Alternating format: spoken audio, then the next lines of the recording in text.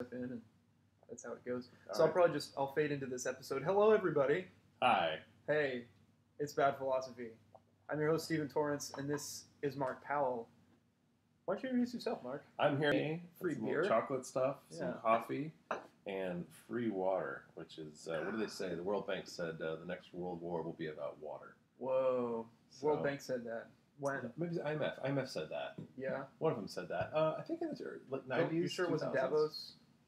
I don't Maybe know. I saw it as a quote on a um, Beehive Collective Oh. um, um, banner.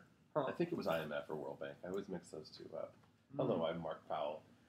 I'm here today with Stephen Torrance to talk about philosophy. Now, philosophy comes from the word. Okay, I don't know anything about philosophy. Actually. it comes from the word philosophical. it's a truncation. You know, I, I, I was wondering the other night with a, uh, another friend of mine whether philosopher as a word was Mhm. actually derogatory initially. Hmm. Because wasn't sophistry kind of uh, hmm panned in Greece? Yeah, kind of- I think there's a valid. To call someone a sophist was like kind of a, a, you know to put them down, like ah, you're like a Right. jabber jabbermouth Right. or something, right, uh, or you're Right. like a bullshit artist. right. And to call them a lover of, of bullshit bullshit artistry was like Mhm. Well, we can say I, I was further. I was reading this um, that Heidegger thing I sent you last night, and he was saying that um, that uh, you know Heidegger was the opposite of sophistry philosophy, the idea that you have to observe thinking. He's saying you have to be the thinker to, to observe t- thinking, Mm, right? And so that's the worst part about philosophy or sophistry is it's detached from actual existence. Gotcha. But uh, you know, maybe maybe Love today, Heidegger. maybe today we can fix that. Oh man, that's that would be a hell of an accomplishment. Phil- Philosophy comes from the word philosophical, of course, Right. Which, is, uh, for which means know thyself magically. Mm. It's got the magical. And the, I believe I believe uh, Socrates said that, right? Yeah. I think so. He was, yeah. a, he was one of those he was a philosopher, wasn't he? He was. He was, Yeah. he was a philosopher and, a- and a magician. This is us, this is how far we've come in, in eight, seven, eight years of recording the show. Is just we're still as bad as the first day, and probably worse. Just have a little shout out for anarcho-syndicalism, baby. it's gonna be hard. You know, you might as well just like hold it up at the right angle because this this light like casts the shadow of exactly the drawing that you have on. I was looking through my philosopher's notebooks, which Mm. is uh, when I write concepts like sequential time and singularity and cosmic riddle. I try and condense people's ideas into cartoons so that I can easily pass them off to my friends. So I had Fuck yeah! Slitterdeek one. This is my friend Jeremy, who believes the singularity already happened, Ah, and that uh, we've had a factory producing sequential time, and now the factory is pretending to produce sequential time. But that's the cosmic riddle: is we have to let everyone know on our side that the singularity happened for us, not for them. whoa. That like, uh, sounds a little bit like the premise of uh, William Gibson's latest. Oh, really? Yeah, Have you have you read I haven't. uh, the Peripheral? Mm-mm. And it's kind of a it's, it's just done as a prologue to the story that he weaves. But anywho, yeah, uh, yeah like the singularity is running off some server in, in China. Nobody really knows. Time split at some point, and Yeah, definitely. realities loop back on each other. To, to step back very briefly, because sure. you're an extremely interesting person to Oh. me, Marc. You are. To me, Yeah. um, probably to a lot of people, but um, I fancy myself. Period. But I also fancy myself as someone who can like pick out unique individuals, Okay. distinctive individuals. I'm probably not as good as it is as I think I am, Mhm. but generally we've had a lot of distinctive individuals on Bad Mhm. Philosophy over the years, Yeah, and uh, you're pretty up there. So you're a Oh. poet. You're you've also written viruses for the iPhone. that's right. You've done you've cooked with world class chefs. hmm You've traveled pretty much everywhere, Oh yeah. and uh, Everywhere white people are allowed to go, I've been. yeah, you've gentrified everywhere you've lived, as you as you like to That's say. true. Can we actually can we kick off the, the episode with a poem of yours? Would, do you have? Could you, could you like do Um, kind of yeah, yeah. I just came back from San Francisco, and um, in, invocation, convocation? What do you call that? uh, yeah, an invocation. I, I feel like uh, I just came back from San Francisco. A little bit about the virus stuff, and so I've been vacationing here in Austin for five months, uh, relaxing from the class war that's under Mm. that's under uh, underway in San Francisco of the kind of dot com techies taking over, um, uh, taking over. Uh, you know, Taking over, yeah, Well, taking over San and Francisco. taking over everything they can. Yeah, it's a it's a very thing, and so Oh, I'm sorry, disrupting. disrupting, Innovating, right, right. yeah. yeah. Disrupting is how techies say take over. Is it And cool so- that we're like we're sort of blaspheming? Yes, I could read that. Yeah, sure. Yeah. Yeah, hundred percent. I think it's Um, exactly where your words need to be.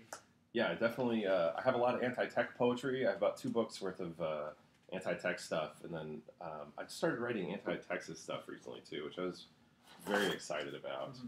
But, oh, I uh, should I should say when I mean center, we're recording in the um, hidden library room of Capital Factory in downtown Yeah. Austin. And Um, which thank you very much. And, and, and, Austin's like 10 years back from Yeah. San Francisco. The sprawl is here, the Yeah. sprawl is developing. People are still talking positively about entrepreneurship, and um, you know, very few people are pointing out the colonizers in our midst. Very few Mhm. people are pointing out uh, the conquistadors wearing guayaberas. You know, the people Yeah. who are uh, here. So this is a little bit about um, about San Francisco. Uh, what's happening right now? San Francisco has changed. Her 48 hills are now the seven pits of hell, and rarefied are the tops of these hell pit hills. Eccentric, techie billionaires live far above us. The descendants of the dot coms. They occupy their wizard towers among the clouds. They scrape the sky. They never leave their apartments. They only exist online because everything they could want is delivered to them. The skins of the homeless, spider needles into powerful slingshots. They use them to deliver chewing gum and Xbox games to the nouveau riche man child programmers in their 40th floor apartments. Their chariots run our children down in the streets. The billionaires are evicting the millionaires. This is decadent Rome times 100, and our new emperors strut their billions down Valencia Street like 12 year old boys playing dress up. And I'm guilty too. I wrote viruses for the internet. Viruses to trap all of you through your phones. I helped the robot spiders draw this world into theirs. I wrote the software as sure as IBM built bitter, sold better machine guns for the mind and the computers to the Nazis. My hands are bloody too. Oh, but there's community and positivity. California is co-op Valley. California's utopia was turned into an app and exported. California's utopia was co opted by robot prisons for the mind, and we can't even blame capitalism anymore. It probably goes back to mercantilism, maybe even the baptism of the spectacle itself in those schisming church councils where they started to separate us from ourselves. They separated our mind from our minds. They pried apart our true connections and inserted a connection, a cell phone, a line of code, an app, a cable. Mediation takes command, and we are all apps now. But thank God we're finally connected! More and more connections! Riddling our true souls like syphilitic lesions. We forget that we are forgetting and reality is mediated through our phones, this invisible layer between us all, connecting us with exoneurotransmitters that vibrate in our pockets and harvest our thoughts, harvest our visions, harvest our children, harvest the skies, the internet. We fed them the planet, and in return, computers trapped our minds in bonsai cage prisons of entertainment. We are entertaining ourselves to death in this prison world full of phone calls and text messages, a prison that we love to help them weave because we love to stay connected. This prison is with us always, connecting us to the outside world, but it's just inches above our heads down attention because nothing is connected, but everything is networked, and nothing is connected. That's intro to the uh, the new piece. Snap, snap, snap, snap intro to like the next uh, book of stuff, basically about mediation. How do you feel about that? Fuck Marshall McLuhan is how I feel. About it. Oh yeah, that's a good Yeah. one too. Man, I, so I went to San Francisco and I renegaded this uh, fake TED Talk. Uh, they had like some shitty colonizer community tech art space. Uh, no offense. Uh, that's like right in the middle of the mission. It's like you know an old theater. The Mm. rents are going up around it, and um, and uh, they had um, art, like Eric, like a picture of Eric Schmidt painted in shit called Eric Shit. Oh, That's nice. wow. and because it's like it's like basically fake transgressive second dick or whatever it was. It was some you know profane internet stuff. A lot, Oh, a lot of stuff about NSA and um, Snowden and things like that. And they had a big fake TED talk where it was. But the best thing about it, this is so great. It was like seen and not heard. Everyone used it for selfies. They had like a headset you could put on, and you had a TED talk, and uh, but there was no amplification. You couldn't like, give a TED talk. And so 150 people in the room. I uh, took it. I did a mic check and uh, read uh, about five six minutes of three pieces, including this one. And, and, the, and the fuck Marshall McLuhan one is the start. Fuck Marshall McLuhan. The media has made such a mess of this age, and uh, so I got to do that, which was awesome. And, and you know, being a loud person, uh, it was you know, I was louder than the Dr. Dre beats next door. What kind of what kind of reactions do you get? Um, yeah, well, I think half people in SF. I mean, some people in SF tech scene are very, very conflicted about it. I think that's, you know, people. You can hate capitalism and still be happy when you get money. Hmm. You know, you get to have contradictory thoughts in your head. You can hate technology and and uh, still use it to express that thought. Hmm. Um, so yeah, there was some good reactions. I think. Yeah, people came up to me at the end and said that it was really cool. So you know, wanted to get. Hmm. Some people kind of wanted to co-opt it, like, can you come talk to this thing? And da, da, da. I want to put that in my basket, Right. Type, uh, which is why I try not to be online, which is why I try not to be, you know. Can, uh, can I ask you then how, how you feel about me inviting you to uh, to do your poetry at the uh, EFF Austin events? Does Oh, it's been super great. that, that doesn't feel like co-opting. Uh, no, I don't think I usually get on. I don't think anyone watches it online. Or Right, Like that. yeah. I think that you know, I mean, you're right. It Yeah. sucks, but you're right.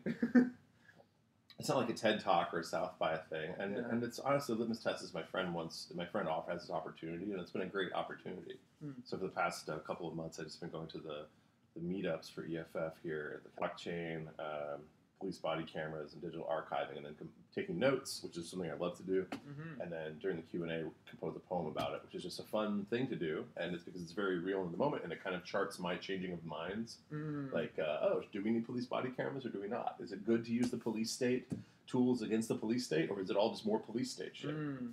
Um, Is it good to remember everything Right. Right. Is it is it good to save, or should we Yeah. let stuff go? and, yeah. and even more separately, is it good to ha- let machines solve problems that we should be solving ourselves? It's Right. like because we can't ban guns and take them away from cops. Uh, well, we need all this technology to make Yeah. sure they don't fuck it up.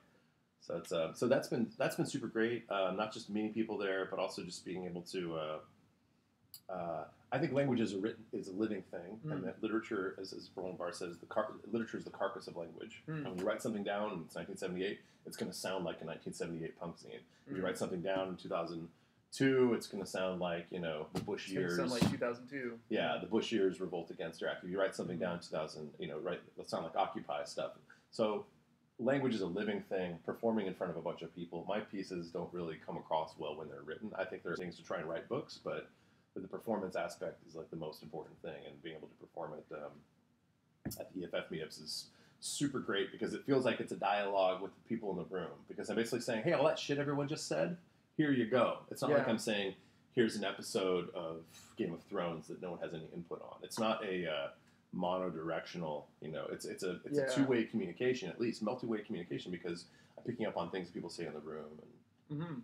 Oh, and, and it, it, it astounded me many times who laughed at, at what in your poems afterward. You know, things that things that would be that would probably come off, as, Yes. but kind of in the context of the Yeah. synthesis that you're performing. Honestly, people just like that they're being paid attention to, and so I might say something that is going against the morality that the digital archivist lady, um, you know, maybe publicly presented. Mhm. But if I'm, it, but I care enough about the thing that she said to contradict her in a poetic way wow. and help her try and think of something outside of that thing. It was What really did- fun with a room full of cops too. Oh So, yeah, we did wear their guns in and all yeah, of it. they all had guns, but I was like, oh man, this is my only opportunity to speak to her power, to you know, truth to a room full of cops. And so Yeah. really oh, oh, hopefully it will not be your last. Yeah. time. But Marc, I'm curious. Would you call yourself a philosopher? Why or not? I mean, I was raised in the in the philosophical uh, tradition. My brother and my dad both have degrees in philosophy. And we grew up with a lot of. I was raised in you know, existential atheist, and um, uh, you know, I, I, the thing I the thing I don't like about philosophy is that it seems like it doesn't affect people's lives anymore. For the past four or five hundred years, it doesn't really affect. Um, it doesn't really tell you how to live Mhm. right? It tells you how to think about something, and um, So, I, I, while I enjoyed reading it, I also never addiction to that specialized um, terminology, all the folk terms. Mhm. I think I only read, I only learned like through that paper what existential really even means, which is this uh, again this opposite of being able to your existence is is you know it's not detachment, it's your existence from which you drive. You know, it's your Everything. uh, yeah. from which you derive your observations. It's not a detached thing. Like imagine a world where there's fire and it's hot, and syllogistically all things are Mhm. hot that are fire. You know, it's it's No, it's it's imagine I'm in a fire. Yeah. Or- yeah. Yeah. that kind of a thing. Yeah. So um, yeah. So I, I feel like woefully, you know, I have favorites, but um, I, and I understand what the continental versus whatever. I can fake it out if you send me to a Sure. philosophers You conference. can, you can bullshit with the best of them. Probably way Yeah. better than I can. But yeah, am Um, I a philosopher? Um, I would. I. Uh, I don't think I philosophize all the time. I mostly digest other people's philosophies and try and um, smelt them down into whatever I, uh, you know, Other me, it seems like you you different voices that I'm capable of. Yeah. and that would fit in their buckets. I don't think I'm necessarily creating anything new, but I am like collating. Sounds like you're you're you're extruding or filtering them through your through your your particular brands of poetry and, and Mm-hmm. Yeah. comic and note taking and all that. Yes, yeah, I'm So trying would to. you call yourself a poet? And yes, I do write poetry, so Yeah. I am a poet. Um, I don't think I write philosophy. I do think I seed myself with a lot of philosophy. And I think as, a, as an artist, you seed yourself. Um, uh, what is a good a good Jodorowsky quote? He says, uh, "Art is something that you know. Friendship is it means that you create something together." Ooh. I like that a lot. So having just seen the Holy Mountain last Oh night, yeah, what do you think of that? uh, one of the things we like to do on the show. yeah, what man? My favorite. Camera, zoom out. My par- my Yeah. favorite part of that is the uh, is it the Venetian planet where they're making war to- war toys? Yeah. Is the Martian planet? Uh, Yeah, I guess no, no, no, no, no, no. It was. I think it was uh, Venus. It's- No, it was. It was Saturn. Having Saturn, seen you're right. Saturn. Yeah, Saturn. So so it goes through all the whole planet cosmo- cosmology, and then he's like, you know, on Saturn they have a factory where the government computer has figured out who you're going to be at war with when you're 18. hey, we're going to be at war with Peru, so let's make Peruvian vilification toys. And I remember being a kid. Oh, and playing with GI Joe and hating the Cobra Law, which was like crazy guys in the desert who ululated, and then being like oh. raised to, uh, then being raised to uh, you know go die in the desert in the '90s and the 2000s. right. So uh, I think there's something to that. I think that there's a. I wasn't so much into the Enneagram. Keep going. I'm just not seen it on acid. So how was that? fool. I mean, it, it felt like being on acid. uh, Because you used to not be able to get it. It used to be like uh, someone. It was back in the VHS culture, you know. Yeah. You had to be able to get it because it wasn't. Uh, Oh, not fight with distributed, yeah. It was yeah, it wasn't distributed. Uh, had it- a pirated version of I've, it. I've, I looked up all the tri- like it was one of the last movies that uh, John Lennon and Yoko Ono Right. saw before he was shot, like Right. a few days before. Although my other favorite part of it is this: nothing in your education could have prepared you for the Holy Mountain. This Yes. movie is beyond critique. It's like, oh, okay. Yeah, I guess I won't critique it then. All right. But it's I- a different art form, 100. percent Oh, for sure. And, and Jodorowsky is a, is a different soul, which we should do an entire episode on him sometime. Should get Um, him in. Yeah. Uh, uh, no. no, Are you a philosopher? Are you a Yeah, philosopher? yeah. I would say I philosophize a lot Okay. more, and I think as the years have gone on, I'm less and less inclined to call myself a philosopher, Hmm. because it, it does. It, you know, it's it's the you talk about the Illich thing of nouns and verbs, right? Mm, yes. Um, and that we're moving from a, a verb culture to a noun culture. Right, We're, we're right. sort of like making static and commodifying ideas. Right. And, Yeah, we're, we're consuming nouns instead of being a verb, and it's very Zen too. right. It's very like, are you? Moving from flow to to point. You know, Uh, to to, to yeah, I would just say like make a list of the verbs that you do all the time, and that's what you are. And I try to do that every couple of months in my little zines and stuff. It's just Yeah. like, what am I doing lately? And if I'm not cooking lately, I'm not a cook. You know? Right. But I cooked this last weekend, and I did some dinners at friends' houses, and I am a cook right now, So and it's fucking lovely. Yeah, this there you go, and and I think uh, as I as I sort of loop back around into Taoism and read through the around into Taoism. well these nice. the, these what is it down. time time is a flat circle and Mhm. uh, all that. Um, The theory of the Mobius. I'm finding, I'm you know you, you always whenever you look intervening experience right Yeah. all the interstitial uh, stuff you've picked up and it, and it doesn't look the same it, it does and it doesn't. I don't know why this is. These the cheap the, the free pens at the at the Capital Factory. I do not recommend. This is actually the pen that I brought with me, Oh, so fuck you. Uh, bullshit. Yeah, I would just say uh, you know kind of going back to the seating of Works on here. things. Um, Yeah. the problem is. it might be the paper. There we go. So go. anyway, Um, well, okay. So an- back into Taoism. another question. So i- is the questioning part. So th- this is like okay. Here we are, stepping back a little bit. I'm like interviewing you. Okay. We're creating interesting dialogue here. Sure. And I've often point? wondered if the if question mark is a hook. I'm sure it comes from that like symbolic lineage, and you're, Mhm. you're just. I always think of it as like I'm just like drawing things out Sure. with questions Sure. and just like tossing them up in the air or Right. Right. mixing them up or whatever. Um, I feel like that is more intimately linked to the to, to the the doing of philosophy Mm. than um, Sure. than the anything else.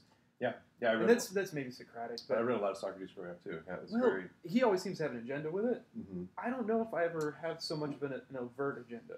Right. Well, I think his agenda is like uh, is creating inference as a as a as a as a tool for philosophical. Like, oh, well, do you think of this? Do you think of this? It's like you know, Right. he's, he's helping you narrow all that stuff down.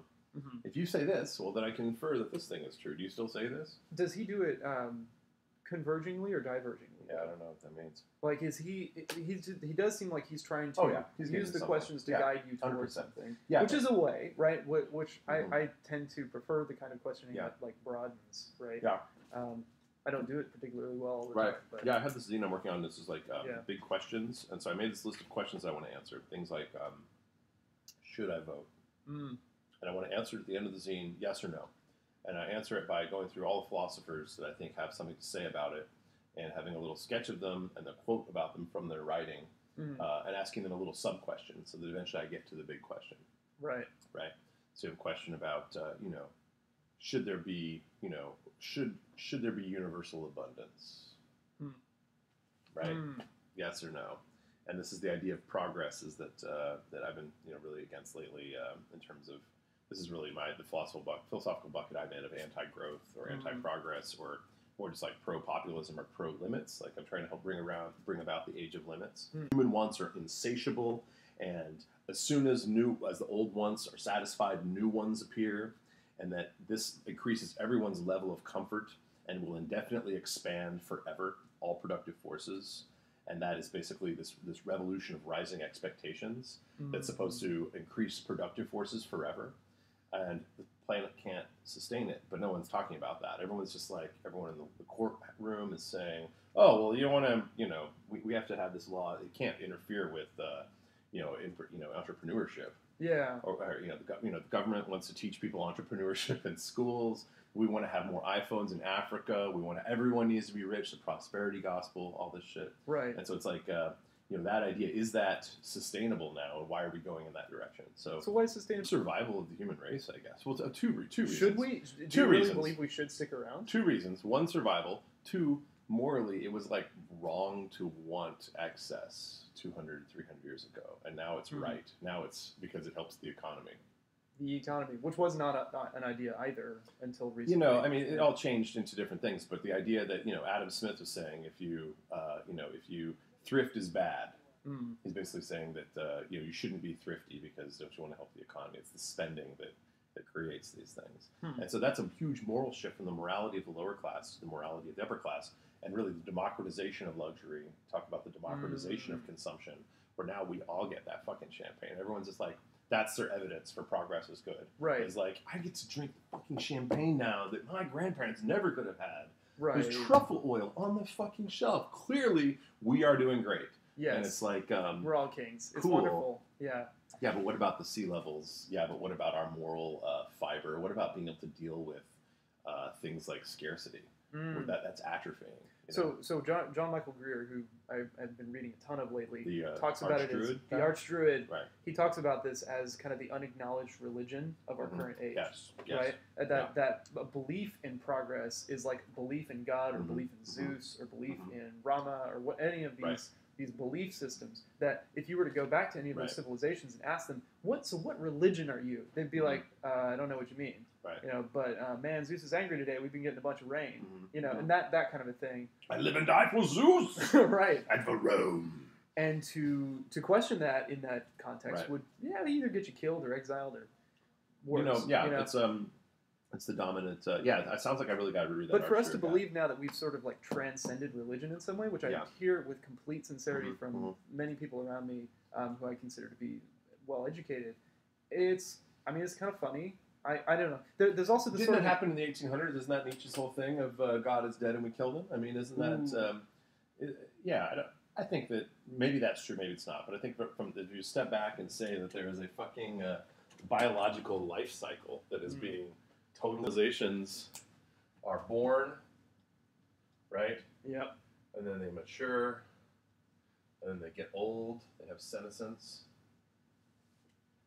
and then they die, right?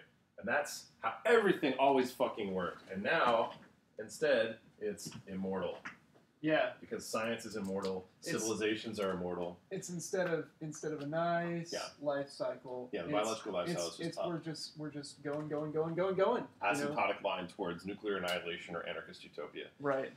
But uh, you know, so, so that's that's really the, the, the thing about this religion that's been created is progress. Uh, Science. So scientism, Mhm. to, to distinguish from science. Sure, Um, sure. I, I heard an, an excellent uh, articulation of this recently on the Buddhist Geeks podcast. I'll link that in the show notes.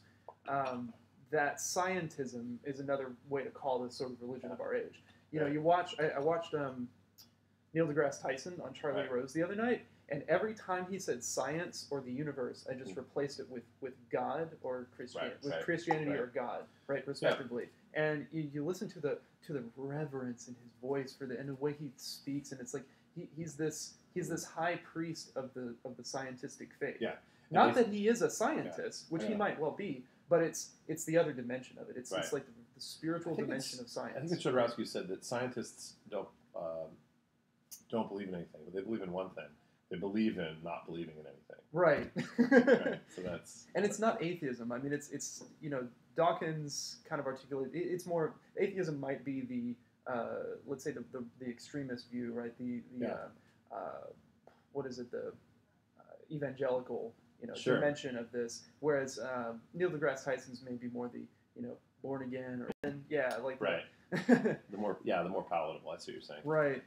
Secular Unitarian. But but how how would we um, you know you, you question Neil deGrasse Tyson and in most circles on the internet you're going to get flamed out the wazoo, Sure. right? Weird. It's, it's funny, right? yeah, like that's his that's his cathedral. That's his uh, It is. his uh, congregation is the internet. hmm So we, we we have these cycles that we go through. And to go back to Greer, he's like, let's look at history. Let's look we, how humanity's been. We rise and fall. We, we do these things. We, Right. All civilizations have done these things. Right. And for us to believe that we're different is is this like kind of core egoism Yeah, of sure, our age, right? Sure. Sure. That that this this time it's going to be this Yeah, time it's different. This time and in many ways forever. is, right? But Is it? it's the la- it's the oldest story, right? Yeah. Chasing the fountain of youth. Do you think we're just afraid of death? As a, I mean, I think we, we have the whole Thanatos Eros thing. I mean, it seems like it's going to last forever, but we just had a, another millennial flood this weekend in Austin.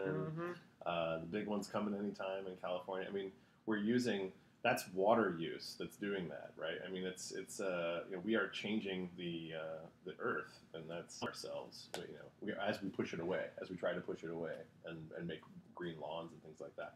I feel like um, yeah, the scientism thing is interesting because it's a. I wasn't personally raised any religion, so Mm. I don't really have all that uh, anti-religion stuff. That uh, in fact, a great quote I had was that spiritual desiccation is a much worse force for humanity than any than all uh, religious bigotry and intolerance and uh, atrocities combined. You think we're pretty desiccated these days?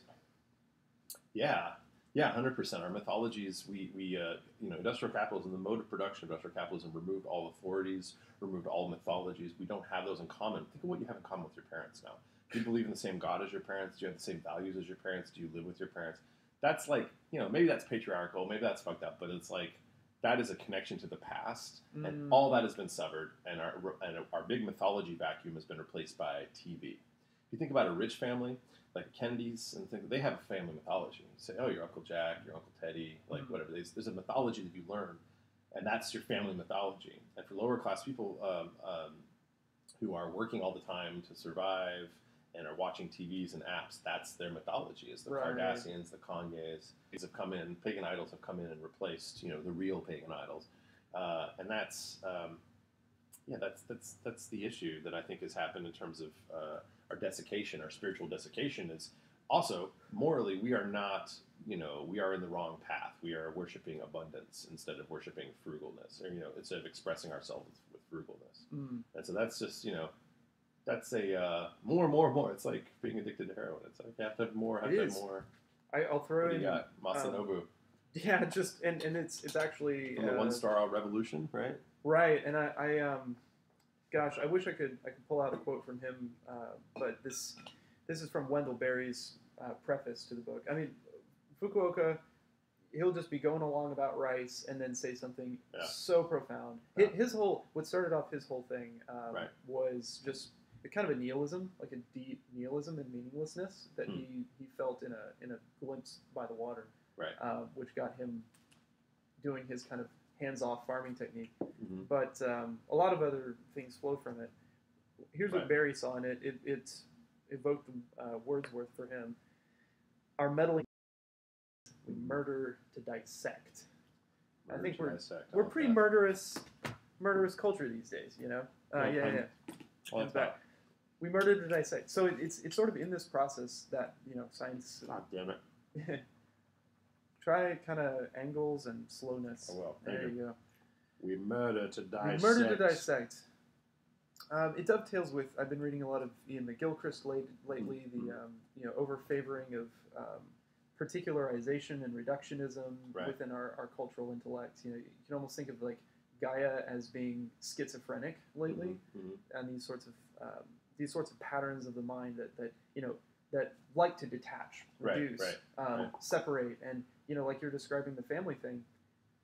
You know what I, I try to think of what I have in common with many children these days. You know, Mhm. if I haven't kept up with every Yeah. Tumblr feed everywhere, or BuzzFeed or HuffPo, or Right. you know, know your meme. If I don't have that like at at my beck and call, Right. Right. it's gonna be very hard for me to like relate on anything Right. of, a, of a terribly Yeah. high level. Like we can relate on maybe food and music and few Sure. things maybe, but sure. You know, it's about it's about how we distend and I mean influence and rebel against each other. mm, And if we hit each other as two triangles, we would influence and distend our little triangle into a different, Mm. you know, an acute triangle or an obtuse triangle. If we hit at a vertex, we would create a new concept and make another vertex. And well, after that level, so then we become multi, you know, you know, two-dimensional, different vertices, polytopes, basically polygons. Hmm. And then if you hit another time at the, at the vertex, you would get an axis, and then you, I would become a 3D, you would become a 2D, or we both become 3D, and then we could, inter, we could intersect uh, with other polytopes over the network, and you could seed it with like your music collection. So I'm Hmm. seeded with Pink Floyd. Therefore, I'm going to have axes that are. I watched every Simpsons episode, so I would match with it. And so, as you create, as you combine, you may totally miss people because you don't even exist on the axes that you're on. But as you create, uh, as you collide and create a new lexical concept, like for example, right now we're talking about um, you know philosophy or life cycle or whatever. yeah. That gets created, and then we then we just shoot copies of ourselves off back into the world and try and intersect with all the other people, all the other dialogues. You know, you're getting into this eco dialogue. You Yeah. have this Texan dialogue. You have this entrepreneur dialogue. This uh, archivist dialogue. That's the gift of our generation. You know, and kind of including you in our generation is that you know the political activists of the '60s and '70s. There's this thing called progressive fusionism and and, and uh, conservative fusionism that happened, where basically uh, Never heard of it. huge political thing in the 70s. that Mhm. It was the technology was mailing lists, and uh, basically the Republican Party for the Reagan Revolution got all of the religious conservatives, military conservatives, social conservatives. Uh, I think I may have already said religious conservatives, farmer conservatives, all of them together, Mm. gun gun conservatives, and shared their mailing lists. And it was called conservative fusionism. It basically fused the, the, the platform of the Republican Party to include all of those. So the per- And it happening. It's happening now. oh. It's, it's, it's happening 30 years later because you have our fore, forebears who came out of. I mean, you, you see people like John Lemkowski and all that stuff. It's like Yeah. they speak one dialogue, and it's it's one dialect. It's great though because you have all these activists from the 60s and 70s, people like Maggie, who are like um, not that they were around then or like active then, but it's like people from that older generation are civil rights activists, gay Hmm. rights activists, civil, uh, digital civil rights activists, right? Um, environmental activists, uh, you know, women's rights activists, things like that. And so our job is progressive fusionism, which is being able to speak multiple languages, be able to speak to tech, be able to speak to politics, be able to speak to environment, be able to speak to whatever. Hmm. And so that's that's a progressive fusionism is supposed to be happening Interesting. right now or within the past ten years. So you had you have written down. I, I hope it is. I really do. Um, if if we're truly facing the the kind of things that science, as you know, love it or hate it, it's here. Um, indicates that we might be as a planet and as a species. It's going to take a lot of collective action rowing in the same direction potentially to change things. Maybe. According to some, I, I will throw in. So he, David Holmgren, and Bill Mollison were, were two of the progenitors of permaculture. I have his Mollison book here. Holmgren expanded the idea of building ecologically um, synergistic, uh, sustainable human settlements Sure. uh, with agriculture uh, to a broader sense of permanent culture, of, Mhm. of building sustainable human culture. Right. And Holmgren said, and, and Mollison came from the same direction, which were, you know, they were doing very top-down activism, you know, really pushing at, you know, UN and government and Right, trying to right, get these reforms. They just burned out on it. Yeah. And where we're like, well, let's try it from the other direction. Mhm. Let's just go and build the, the thing that we want and live in it Right. and live as an example. Right now, obviously, your farm that you've done all the permaculture stuff in the world on, it makes no difference if the guy next to you is super NRA gun rights guy burning diesel all the time. The one straw revolution, it does make a difference. Right? One But straw it begins makes a to difference. it, Yeah. it sure. Mm-hmm. begins to tip things, right? So so there's It makes sense in those people's lives. Because Right. it shows another way of being. Like what what what sort of uh, is the the way the verbing of the Because difference? over here you have an individual human, Mhm. and over here you have this trick of humanity. Right? Mm. And if you have the scales here are, uh, sorry everybody, humanity needs to uh, play Xbox. Yeah, or you have, hey, you know, a couple people over thing. here. yeah. Uh, Not necessarily that it's your most important thing, but the human experience of two people toiling on the soil and dying are relating to each other Mm. and not necessarily inflicting it on the rest of the world. But what does Illich say? He says as soon as you start talking about um, you know the whole of humanity, you've basically the whole of the earth. You've basically totally thrown away what it is to be an individual human in your existence, and you're basically you have this other religion that you're setting up. But uh, you know, which is that ah, humanity wants this ah, for the good of Ah. humanity. That's what we're doing. It is the responsibility of saving the planet, But- as opposed to uh, But the- having a the direct heap- relationship. The heap is the sum of a bunch of grains, right? Sure, yeah, And but I mean, pay does- attention to your grain. What's uh, we uh, talked about it in a uh, interstitial episode, the, the last rule set update. But this is kind of the what's tipped within me is what you're talking about here is a is a whole different Look. kind of meaning making Yes. for an individual than we're generally um, we're generally tilted toward, Yeah. right? Sure. It's a I would say that's mediation.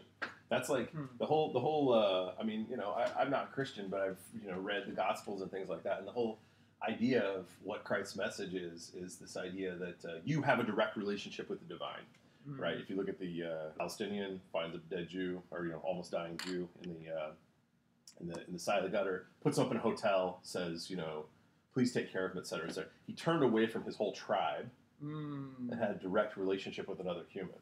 mm. and that's unmediated reality. And then here comes the Catholic Church to corrupt that, Ooh, because that's what that's what Christ is supposed to make possible is a human relationship that made possible the Antichrist, which is, hey, we'll do that for you. Hey, tithe Yeah. to us and we'll do charity, and then Right, you right, have right. this giant real estate company that comes. and now up. Starbucks. Yeah, hey, so just I think you know, buy this latte, and we'll totally take care of the Africa thing that makes you feel guilty, right? Like Uh-huh. that's yeah, whereas there's people sitting on the bench out front, you know, in this fucking storm right. of this house. What are we doing for them?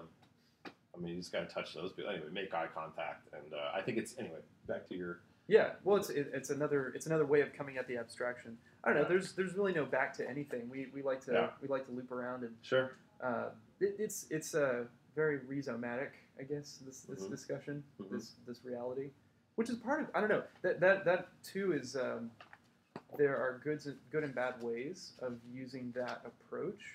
I Mhm. think the uh, so far as it will be for a lot of people who don't intersect with our planes of immanence in the you know Deleuze and Guattari sense, who maybe don't share some of the same experiences we Mhm. have, Mhm. um, Plus you can use- can be alienating, right? And that's that Yeah. seems to be in some ways the nature Yeah, of, but, of, of the uh, this story, the humanity story, Right. Right. Right. Well, the opposite is the lowest common denominator. You use a lot of fifty cent words that I don't understand. Of you like, you know, in this sense, and I'm like, what does that mean? Right. People view won't necessarily get that, but So uh, where is that? Where where does that line, right? Like, what's a is is that it's fine. always a fine. negotiation? Roland with Barthes, individuals? um, it doesn't matter. It, Roland Barthes has never apologized, never explained. yeah, It's just you know, do you want to, you know, do you want to watch third grade programming where people are uh, explaining, here's what this means, right. or do you want to hear, like Hey. I like to do, I read a book and I read, they make some reference to some other book that I've never heard of, and I just go get it. And I'll be like, if you're in, listening to this and going, "Man, I don't understand," or Mhm. if you you know already tuned out, you won't even hear this. But if you have questions about this, totally ask us and Yeah. totally like have Google what? open. What do you think? Okay, let's project. What are some questions that people would ask about this? I don't know. Why are these two white guys telling us what to think about the world? Right. That could be one. uh, Um, because we have the privilege of computer space. We have this $250 a month uh, incubator space, access to that. Uh, we're on the tallest building in the middle of Austin. We are the Eye of Sauron for gentrification of Mhm. Austin, is why. Uh, we were both born uh, white, privileged, and had access to technology and are able to sit around and not uh, get calluses on our hands except from tapping iPads. I've begun to callous a little bit as I um, start to work in the ground a bit more. Oh, that's know. lovely. I know it's like it's so sorry to be the That's exception. lovely. No, no, no. I have a poem, I have a poem for you. Yeah. called Friends Are the Opposite of Apps. Okay. I need you, my friend. Like I needed my phone before I smashed it and mailed it back to the NSA full of narcware.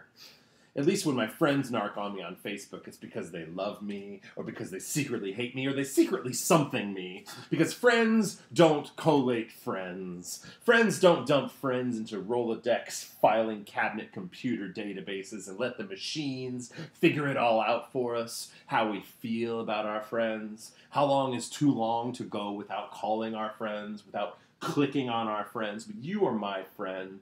And our friendship is like a garden, and it's planting season. And our tools are rotting away in the yard, and the compost pile needs to be turned, and outside is calling. The land screams for your tears and blood instead of Farmville. 14 hours a day, stealing your tears, building up fake calluses of labor on your tippy tappy tippy tappy fingers. Friend, it is time for your fingers to bleed. Friend, come outside with me and dig in this earth. Let's void the earth's warranty. Friend, let's smash our phones and show the fucking Illuminati where they can shove their fucking apps right up their fucking ass. A little bit. The, digging, the digging The- thing. the- I thought you would be calluses. into the Yeah, gardening, no, I like uh, that. Yeah, the gardening analogy. Thought you might be into that, love it. so that's good. What are some other questions people would ask? Um, Uh, I would say, is all are science bad? is all science bad? We've we've uh, we've definitely dove into that on other shows. I, I, I don't think so. I, I think it's it is a tool, and I we have to is. remember that it's a tool and Mhm. not a not a. Um, Yeah, I would say Silicon Valley funded science is bad when there's huge venture capital firms, and I think like uh, if science is bad, I don't know. I didn't see it in your other shows, but I feel this way I feel about it is I thought all science was bad two years ago. Now I don't. And I feel like if we have a democratic limit to it, if we have a limit on the sp- speed limit on the internet, we have a maximum size of social network, maybe 100 people, whatever. Uh, we have you know get rid of Google Fiber. We have to have a maximum number of emails. Mhm. You know, it's like if you limit those things, limit the number of hours that you look at your device. Is that possible? so we try to do that with TV. We try to be like no more than six hours a day or whatever. I mean, Yeah. in the eighties, we, if we limit those things, you basically can bring about this age of having a democratic counterbalance to the forces of capital, saying, "Here's the new crack." hmm And, and that's what you feel like we've, we've just tipped. It's not that we don't have any democratic forces at all. They just have ceased to have the influence that they used to. And so we're, we're unable to. I don't think there's democratic inputs on uh, internet or apps or Silicon Valley technology. There's no democratic input on it. You, you don't have to use Facebook. It's you the pro- it's the product. right? Yeah, it's the that, that's product, that's the, the common retort. Yeah, but it's like, well, if you don't like our app, you don't have to use it. You know, and it's like, well, Sure. if all my friends are, you're exploiting like innate human social pressures to to do this to me, right? Like it's it doesn't recognize Well, you're not changing the direction of your groups of friends. It's not, you know, sure you cannot participate, but it's democracy as a product instead of a verb. Mhm. It's like, hey, you got everybody, and it's and and this is what uh, the Neil Postman book, uh, "Amusing Ourselves to Death," talks about. Is that when it talks about moving from a literary society to a televised society, and how television destroys everything, even when it's at its highest, most loftiest goals, it Mhm. makes it even worse. Like, you know what television's going to do in the '80s? It's going to fix politics. It's going to televise those presidential debates, and all of a sudden, everyone's beautiful who's running for president Yeah. right? Same thing with the internet. And you know what the internet's going to do? It's going to fix politics. Right. It's going to make sure that there's polls everywhere and that there's, uh, you know, forum. Po- it's just that you you know, can't. There's no censorship. You can. You always find out about how people feel. Mhm. Yeah. Mhm. Mm. We're going to track voting records and make these just vitriolic Cowboys versus Broncos. So Schools of let's, thought. let's talk about let's talk about ways forward. I mean, there, Oh, sure. you've got a you've got a few ideas. Um, I mean, my my idea that I'm not really an idea, but just I, I'm unsure if, if even verbalizing it is can do it justice. But it's like this this pull I feel to Mhm. be back in embodied work. Yeah, right? use your hands. the the, the. Buddhist, Buddhist ideas like right livelihood. Mhm. Um, it's yeah, the connection connection physically to It is not work if you are, aren't using your body, right and you should right. Work. You should work, Um, and the work ethic is uh, is is uh, you know slandered by uh, capitalism because it's like, hey, don't you want to just not work? Isn't Yeah, exactly. We did, and I love Illich's uh, analogy of the, the bread machine, right? Right. Like, okay, what do you you, uh, you used to uh, you know knead the dough Right, and then right. you know put it in an oven, you know, let it rise and slice it. Now you just like dump all the ingredients in a thing, push a button. Mhm. Then okay, so what are you doing with that time Yeah. that you would have spent making bread? You're just going over and pushing other You're buttons. checking email. Yeah. Yeah, you're checking emails. You're Yeah. You're And, and in fact, I, I would even say that's that's uh, that's the other thing about why we stopped becoming a democracy and started be, we stopped becoming a republic and started becoming a democracy where citizenry turned into consumers. right. Right. We are not participating in our republic. We are not. We are not going to city hall, going to to, to uh, state capitol building. Well, here's here's unless a, you are. I okay. So here, here's my personal experience. We are not arguing in community assemblies what we should do to respond to the flooding. Right. It's just being outsourced to our vote to uh, professionals. Yeah. we're we're not citizens anymore. We are consuming citizenship for Even ourselves. Watching the news, it felt like we were, we were sort of consuming the, the like Mhm. uh, catharsis or, or just tourism of the wound or something like that. Mhm. I, I was out walking amongst the, the recent flooding we had here in Austin um, 2 days ago. Mhm. I have never seen so many people walking on random streets in Austin at the same time To see for themselves. ever in my life talking to each other Yeah. neighbors coming out and like the, it was so quiet everywhere was quiet Yeah. everyone was was just sort of we were all experiencing the same thing at the same time Yeah, yeah. and i don't think i looked Experience it around all. Experience it all together, as opposed to everyone getting an Amber Alert at the same time on their phone separately. yeah but here and here's what i saw still like as much as people would sort of tentatively talk to each other Mhm. it was like everyone was just sort of walking around in a daze nobody knew how to act Yeah. nobody knew what to do It's atrophied. right? Like no, and I, I was just sort of in shock at both the horror of the disaster itself, but also at our state of being as mm-hmm. as a as a you know people in a city. Is mm-hmm. we just, we just forgotten how to be a mm-hmm. city. like, everyone was either taking photos on their phone, on the phone talking to someone else, looking at their phone, or just Yeah. like staring at the water. Like that's those were the responses to this. yeah, reality is mediated, and it's like, whereas the it was like it's like we're in a movie or something. I know, it would yeah, kind of the feeling of like everyone everyone was watching it as if it were this this entertainment or something. Yeah. Like, whoa, Yeah. you know, it, it was it was deeply horrifying on, on multiple levels. yeah, we but- talk about positive ways forward. Um, I- yeah, yeah, sorry. I've been drawing, I've been drawing like uh, objective correlative cartoons where I have good conversations with people and then write down uh, things to draw cartoons about. And so one of them, you know, some of them from the other night, I was in San Francisco, Mm. you know, put a giant fucking guillotine up in the uh, town square and just say, "All right, give us your money, rich people. It's either that or the guillotine." You know, it's like Ooh, that's, that's a good quote. Another is, uh, "These are not the futures you're looking for." Mm. kind of weird one, but it's and uh, it's a gift, Bill. You can't just give us ten billion dollars and say this is what it's for. right? you know, Bill for Bill Gates. But but uh, kind of better ones I was uh, I was writing were like um, ideas for the future uh, to get out there, try and be positive. I'm very good at Hmm. being critical, and so here's a couple of them are. Um, Sure. communities make decisions, and it's just a bunch of people sitting around. You can't even see it. There's a bunch Yeah. of people sitting around a, a table raising their hand. Uh, some of them are standing. So it's, that's really that's what communities do. Is communities make decisions. Mm.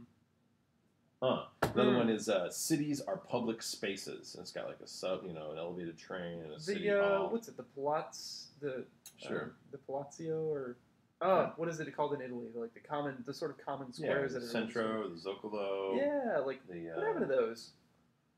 Being sort public of a, spaces went away. The commons got Yeah. got absorbed into land. So I, I love that. Cities Um, are public spaces. That's a, you just. I'm saying these are positive things you put out there. You put stickers. Another one is uh, your neighbors are outside, This is people on a bike, standing in the street, someone sitting on a carpet on this, you know, with some food for people, someone with a dog, people sitting Mm. on their stoop. Your neighbors are outside. I'm just trying to like put that out there, being like, that's where your neighbors are. Yeah. You want to talk to your neighbors? Let's go They're, outside. they're outside. Yeah. As opposed to, at least in San Francisco, you're on a mailing list with them.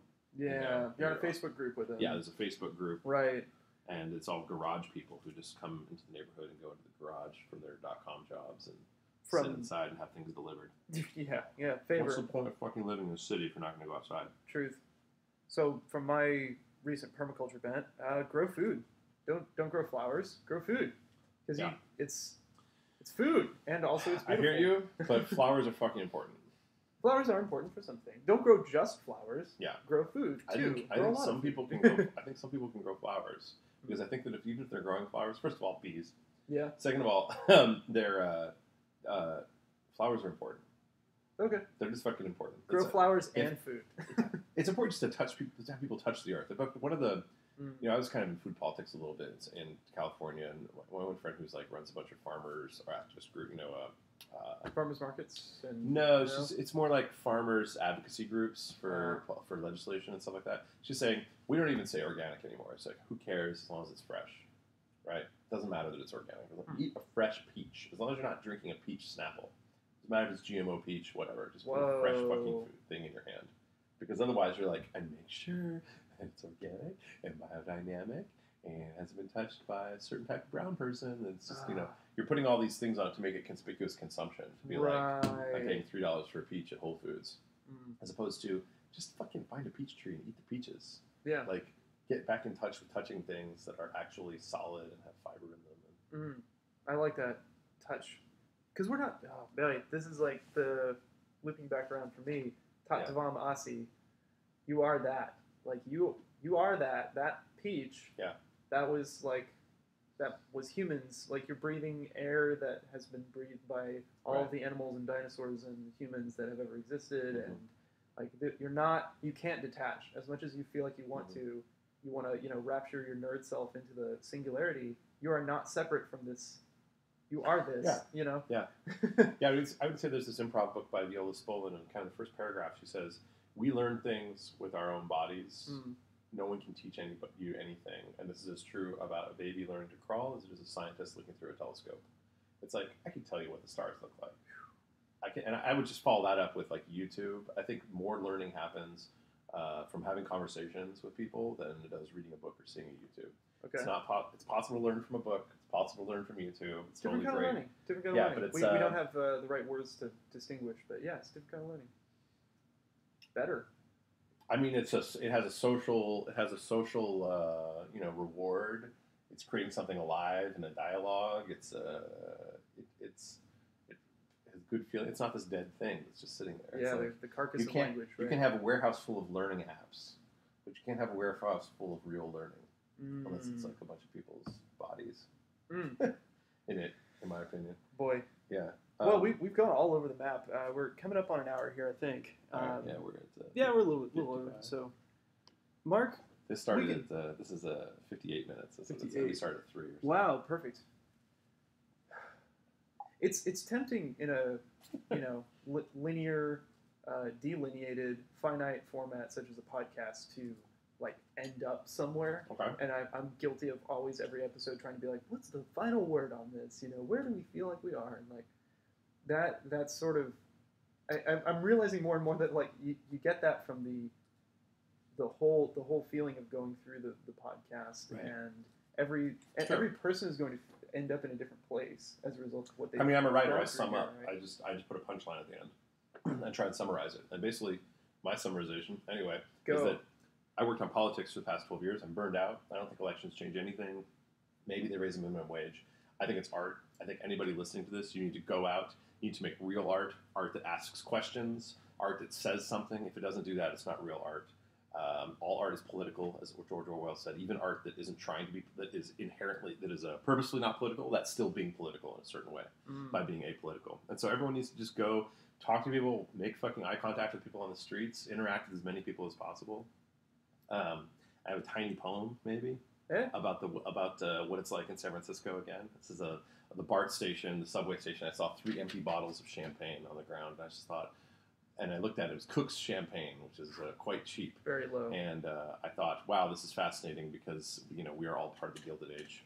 Three bottles of Cook's champagne. Everybody wants in on the Gilded Age, and all democracies have fallen, but the democracy of luxury, the wealth gospel, the optimist's bill of rights. Tony Robbins on the twenty dollar bill, inviting you into the poorhouse where we can all be rich together silently tripping on golden coins of Thorazine, hospital gowns with no pockets.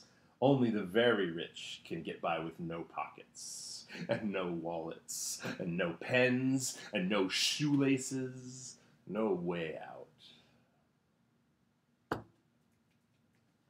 Thanks. Bad philosophy, everyone. Thanks for listening. Now stop listening to this podcast and go do something. Yeah. With someone. Make Yeah. something beautiful. Yeah. H.L. Mencken says there's always a pen, there's always a piece of paper, there's always a way out. Unless there's no pen, there's no piece of Cool. Thanks for being on the show, Marc. Hey, thank you, Steve. It was great. Yeah.